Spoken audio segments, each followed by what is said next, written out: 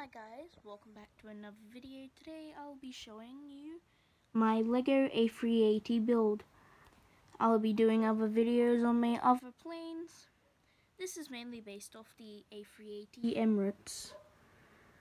Here it has the flaps which can work and the speed brakes. Also on the aircraft, I didn't install all 12 and all 12 um exit doors, but they still open and close, and the lock. Also, this has moving landing gear and a hook, which I'll explain later in my other videos. Also on this aircraft, it has very detailed um, winglets. I didn't think about putting any stickers on this.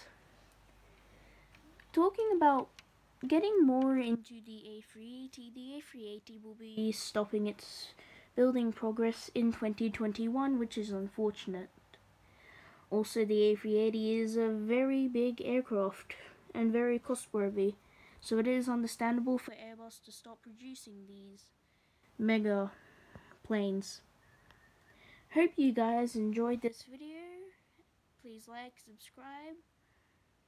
And to the people who watched my other video, thank you and goodbye.